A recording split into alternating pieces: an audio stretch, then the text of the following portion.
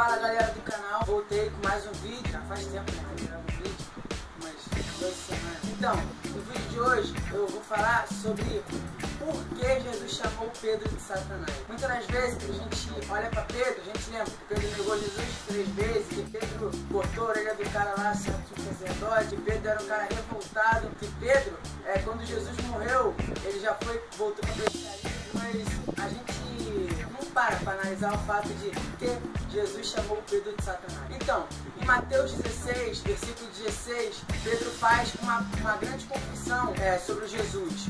Tu és o Cristo, o Filho do Deus vivo. Jesus o elogiou, dizendo: Bem-aventurado és tu, Simão Barjonas, porque não foi carne e nem sangue que te revelaram, mas meu, mas meu Pai que estás nos céus. É, agora, logo depois, Jesus falou sobre sua primeira morte e Pedro o repreendeu. A resposta de Jesus foi áspera. Olha o que ele falou: Arreda, Satanás. Tu és para mim pedra de tropeço, porque tu não gostas das coisas de Deus, e sim das dos homens. Por que Jesus chamou Pedro de Satanás? Alguns interpretam, algum interpreta esta passagem para sugerir que Pedro foi endemoniado e que Jesus olhou para ele e viu Satanás mas não há base para tal suposição. A explicação melhor vem da palavra Satanás, que quer dizer adversário. Esta é a palavra usada muitas das vezes para identificar o próprio diabo. Ele é o principal adversário de Deus e do povo do Senhor. Mas a palavra em si mesmo tem o sentido de adversário. Pedro, de fato, estava se colocando contra Jesus, é, até intervindo nos planos dele. Da mesma forma que o diabo ofereceu um reino sem o sofrimento da cruz. Pedro imaginou a exaltação sem a paixão. Jesus, entendendo perfeitamente a vontade do Pai e a sua própria missão, não aceitaria nenhum atalho. Ele seria exaltado como rei, mas teria que sofrer. Se Pedro se tornou momentaneamente adversário de Cristo, seria possível nós fazermos a mesma coisa? Jesus poderia olhar para nós e dizer: arreda Satanás? Imagine um jovem morrendo, brutalmente esfaqueado é, um amigo dos pais da vítima encontra o assassino na com a faca na mão, o sangue da vítima é pingando na ponta da faca. O criminoso cruel não mostra nem um pouquinho de remorso. Mesmo assim, um amigo o leva para casa do casal e pede para a mãe da vítima recebê-lo e fazer almoço para ele. Imaginável, não é? Tiago disse: Infiéis, não compreendeis que a amizade do mundo é inimiga de Deus?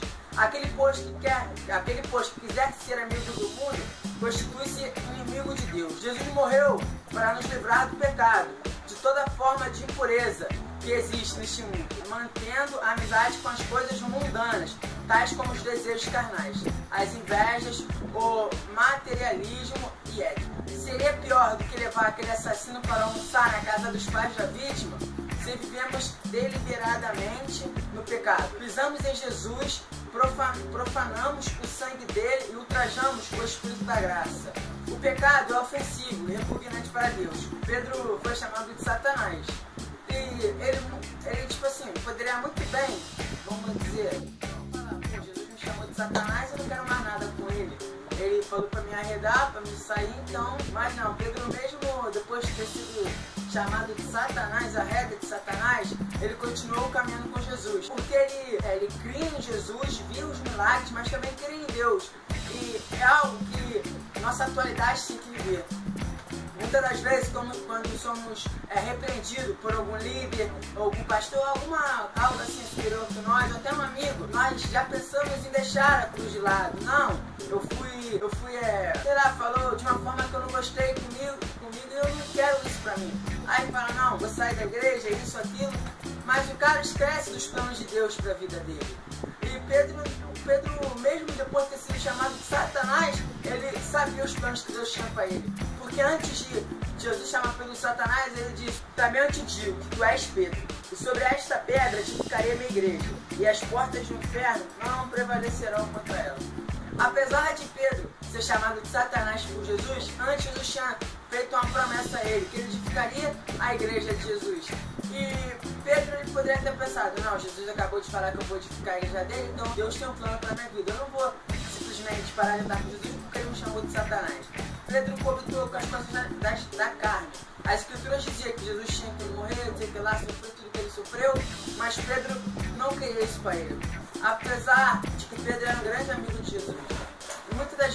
a gente quer, quer ter atalhos na vida, não queremos passar por tais coisas. Queremos, sei lá, pegar um atalho, não, queremos sofrer, mas queremos ser gloriados.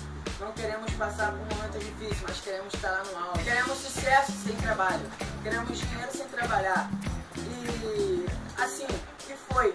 Pedro foi chamado de Satanás e continua andando com Jesus. Ou seja, aí, Pedro não desistiu de Jesus. Ele continua andando com Jesus. E a reflexão é isso. É isso. Por que Jesus chamou Pedro de Satanás? É, se inscrevam no canal, deixem um gostei. E se quiser sugerirem é, vídeo, sugerirem alguma coisa para próximo vídeo, tá aberto. Só comentar aí embaixo e tamo junto.